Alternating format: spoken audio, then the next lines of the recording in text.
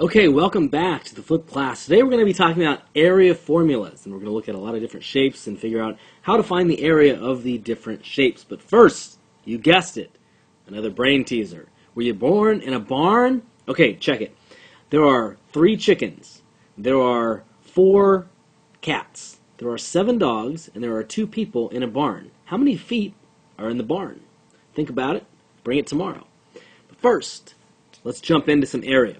Okay, area of a rectangle. You see, you have a rectangle here, four inches for the length, three inches for the width. Area of a rectangle is length times width. Three times four, in this case, gives us 12. And when we're talking about area, we're, uh, especially area of a rectangle, about area in square units. In this case, our unit is the inch. So, whoops, our answer would be 12 square inches. Okay, area of a parallelogram. Got a parallelogram here. A parallelogram is base. So we have this is our base, which is three and a half, times height. And you're going from height to the base. In this case, two and one third. And we'll say inches. Okay, so three and a half times one, uh, excuse me, three and a half times two and one third. Okay, to make it a little easier on myself, I'm going to make these into um, these mixed numbers into improper fractions. Two times three is six, plus one is seven, so I have seven halves. Seven halves times three times two is six, plus one is seven, times seven thirds. Okay, seven times seven is 49. 2 times 3 is 6. 6 goes into 49 8 times, which would be 48, so there's one left over. Denominator stays the same. So I end up with 8 and 1 6 inches squared for the area of this parallelogram. Okay, moving on to the area of a triangle. Area of a triangle is 1 half base times height. So half the product of the base and the height. So here we have a triangle that has a height of 8 centimeters. The base is 12 centimeters. So first we're going to multiply 8 times 12 and we're going to end up with 96. And I know that my area is 1 half of 96. Divide that out. We're looking at 48 centimeters squared. Now, I do just want to point something out real quick to everybody. Obviously, there are multiple um, there are multiple kinds of triangles. So let's say you had an obtuse triangle, something like this. Your base would still be your base, but your height would go from your highest point. So you'd be looking at here to the base. This area here would be your base. Okay, moving on to trapezoids. To find the area of a trapezoid, you take height times the sum of its bases, and I'll explain that in a second, and then it's half of that. So half of height times base 1 plus base 2. Okay, that was complicated, but not that complicated, okay? Check it out. I've given you a trapezoid here, I've given you some figures. Area equals 1 half of the height which is in this case 6 meters, times base 1,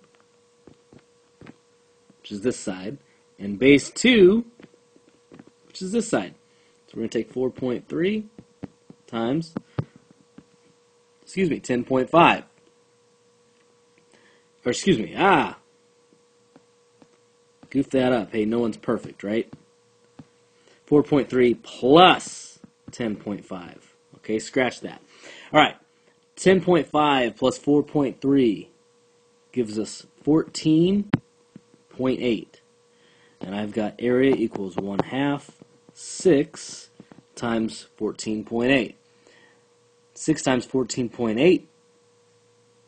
Let's do the math. 14.8 times 6. 6 times 8, 48.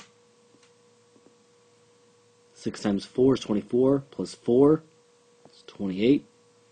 Drop the 1, or drop the 8, carry the 2. 6 times 1 is 6, plus 2 888. I've got one decimal move, so I've got 88.8. When I multiply these two together, area equals 1 half. We know this is a really easy one to do. 1 half times 88.8. Well, half of 8 is 4, so we're going to end up with 44.4 meters squared. Okay, now I want to talk for just a moment about composite figures. When, it, when you look at a composite figure, okay, I've given you a polygon here. If I wanted to find the area of this, I could do some work, okay, or I can make it easier and do what I already know. And I'm gonna, what I'm going to do by what I mean by that is what I'm going to do is I'm going to break this in half. So really, I have one rectangle and another rectangle. You see, I've split it right here, and I know this is three feet. This is five feet. Okay? Takes care of this one. This rectangle, however, I know is 2 feet, and my picture is maybe not the best, but that's okay. 2 feet as the height. Now I need the width. How do I know what the width of this is? Well, if the width all the way across is 6, and the width of this is 3, what has to be left? Another 3, right? 3 plus 3 will give us 6. So I know in this case, 3. Okay? So how do I find the area of a rectangle. Length times width. 5 times 3 gives us 15. 3 times 2 gives us 6. But I've got to put these back together. I've got to put this piece back together so I have my original shape. 15 plus 6 gives us 21, in this case, feet squared, or square feet. Okay, one more polygon. This one I've done by hand. It's actually the example that's in our book, and I, I, I, did that for a reason. But page 545, if you want to look at it in the book. Okay, I have what I'd call a composite shape here. It's a polygon, and I, I call it a composite shape because if I look at it, if I split it right here, then really I've got my rectangle, and I've got a triangle. Okay, and if I want to find the area of a rectangle, I know it's length times width. Well, this bottom half is 10. Okay, this side is 8. Okay, so I know that. 8 times 10 gives me 80. All right, let's move on over to our uh, triangle then. We're going to set the 80 aside. We're going to put a pin in that. Okay, I know that because the line that goes all the way through is 13, but I cut it off here, and I cut off this 10. 13 minus 10 gives me 3, because I'm looking for base times height, right? So I know that we're looking at 3. And then I know that this side is the same as this side, so we're looking at 8, okay? Uh, or, excuse me, 1 half base times height. Okay, base time height would give me 24, because I'm doing 8 times 3. 1 half of 24 would give me 12. If I then take the pin out of my 80 and combine them back together, because I want to form my original shape, 80 plus 12 gives me 92, and in this case, centimeters squared. Okay, I know that's a lot of different concepts and a lot of different formulas. We're going to be breaking these down over a couple of different days, but I wanted you to have them all in one place where you can find them and without having to go to different videos. So they're all here. You can check them out. I'll see you next time.